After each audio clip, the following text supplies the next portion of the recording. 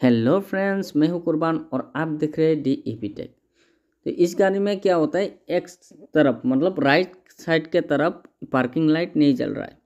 सामने भी नहीं जल रहा है, पीछे भी नहीं जल रहा है। आप ये अभी यहाँ पे देख सकते हैं, उस लेफ़्ट साइड का जल रहा है राइट साइड का कुछ भी पार्किंग लाइट नहीं जल रहा है। मैंने पार्किंग लाइट दे के रखा हुआ है।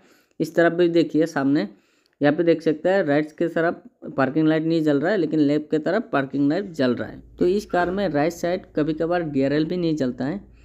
तो एज ए इलेक्ट्रिशियन या फिर टेक्नीशियन आप लोग पहले क्या चेक करेंगे? फ्यूज चेक करेंगे रिले चेक करेंगे, या फिर वेयरिंग को चेक करेंगे? अगर सब कुछ सही रहा है तो इसका मतलब कहीं और जगह पे प्रॉब्लम हो सकता है मॉड्यूल पे भी प्रॉब्लम हो सकता है, या फिर किसी और जगह पे प्रॉब्लम हो सकता है। तो एक बात हमेशा ध्यान रखिए, अगर आपका फ्यूज रिले या फिर वेयरिंग सही है तो एक बात हमेशा ध्यान रखिए कि कार में कुछ एक्स्ट्रा एसेसरीज फिटिंग है कि नहीं। अगर कार में कुछ एक्स्ट्रा एसेसरीज फिटिंग है तो उसको पहले हम लोग रिमूव करना पड़ेगा। क्योंकि इस कार में बहुत सारा एसेसरीज लगा हुआ है डैशबोर्ड कैमरा स्पीकर और उसके बाद म्यूज़िक सिस्टम पीछे एम्पलीफायर बहुत सारा कुछ लगा हुआ है। तो यहाँ पे जितना भी सारा एक्स्ट्रा एसेसरीज लगा हुआ है, इसको पहले रिमूव करना होगा। उसके बाद ही इसको परमानेंटली प्रॉब्लम सॉल्व कर पाएँगे। अगर ये सब लगा होगा तो ये प्रॉब्लम कभी सॉल्व होगा नहीं। तो इसीलिए सबसे पहले हम लोग इसको रिमूव करना होगा तो परमानेंटली इसको सॉल्व होगा। तो चलिए देखते हैं मैंने इस प्रॉब्लम को कैसे सॉल्व किया और इस तरह का का प्रॉब्लम क्यों होता है। एक्स्ट्रा एसेसरीज लगाने के बाद ये प्रॉब्लम क्यों होता है, इसको हम लोग समझने के लिए कोशिश करते हैं। सभी कोड मैंने क्लियर कर दिया। और क्लियर करने के बाद अभी देखते हैं पार्किंग अभी पार्किंग ऑन है।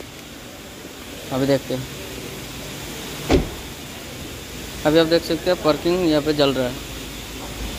मेरा पार्किंग जल रहा है। पीछे का भी दिखाता हूँ। अभी देख सकते हैं, पीछे का पार्किंग भी चल रहा है। ये बेसिकली होता है जो एक्स्ट्रा म्यूज़िक सिस्टम लगाने पे बीसीएम पे लोड होता है। तो बी हैंग होता है। Short to voltage, short to ground हो जाता है। इसलिए ये होता है।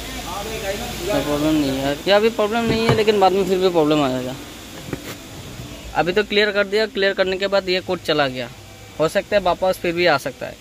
मतलब 99 परसेंट चांस है ये वापस फिर से आएगा। अभी कब आएगा ये पता नहीं। हो सकता है दो दिन के बाद भी आ सकता है, तीन दिन के बाद भी आ सकता है महीने बाद भी आ सकता है, साल बाद भी आ सकता है। कब आएगा कुछ गारंटी नहीं इसका।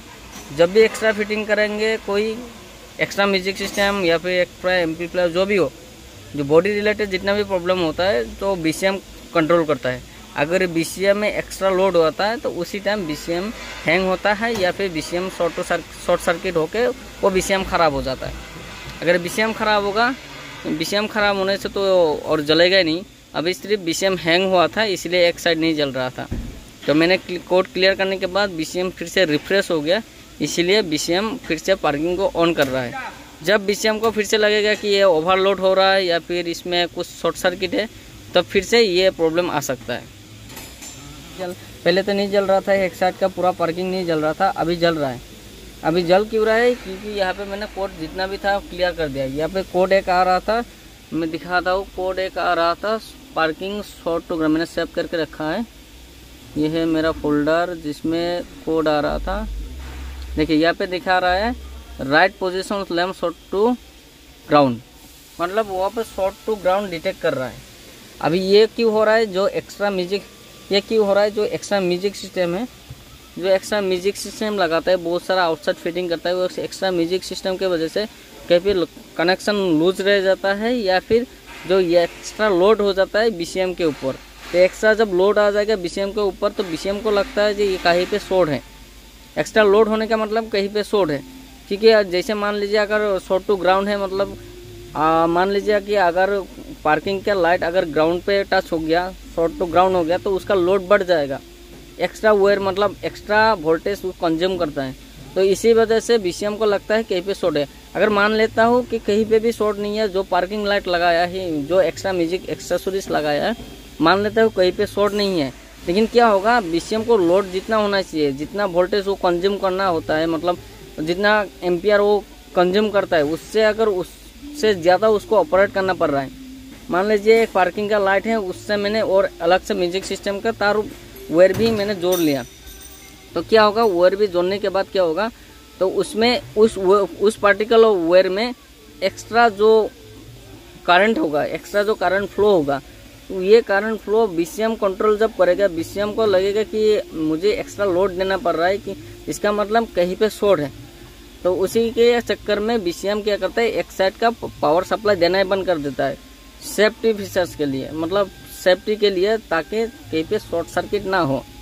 तो इसीलिए एक्स्ट्रा अगर लोड बढ़ जाएगा बीसीएम के ऊपर, तभी बीसीएम एक साइड का पावर सप्लाई बंद कर देता है और कुछ भी पार्किंग लाइट नहीं जलता है कभी कभी डीआरएल भी नहीं जलता है।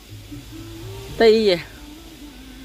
लेकिन कस्टमर को लगता है जो हम लोग ऐसे ही बोल देते कस्टमर हमेशा कस्टमर बोलता है कि एक मिनट के बाद आ, मतलब लगाने के बाद छः महीने के बाद प्रॉब्लम आया या फिर साल के बाद प्रॉब्लम आया। एक साल तो मेरा प्रॉब्लम नहीं था या लगाने के बाद मैंने एक साल चलाया। कोई कोई बोलता है दो साल चलाया मैंने। दो साल में कुछ भी प्रॉब्लम नहीं। प्रॉब्लम कभी भी आ सकता है। ये म्यूज़िक सिस्टम एक्स्ट्रा लगाने के बाद म्यूज़िक सिस्टम हो फोकलाइट हो कुछ भी हो। अब एक्स्ट्रा एसेसरीज लगाते हैं डायरेक्ट बैटरी से लगाते हैं तो कोई प्रॉब्लम नहीं होता है। अगर बैटरी के अलावा किसी वायरिंग के साथ कनेक्शन करते हैं आप ज्वाइन करते हैं या फिर कपलर टू कपलर भी कर ले, कोई फ़र्क नहीं पड़ता उससे। लेकिन बीसीएम पे जैसे लोड आएगा, उसी टाइम बीसीएम इसको ऐसे मतलब जब भी डिटेक्ट होगा बीसीएम को लगेगा कि मेरा लोड बढ़ रहा है तो उसी टाइम बीसीएम इस तरह का कोड जनरेट कर देता है और एक साइड में पावर सप्लाई बंद हो जाता है।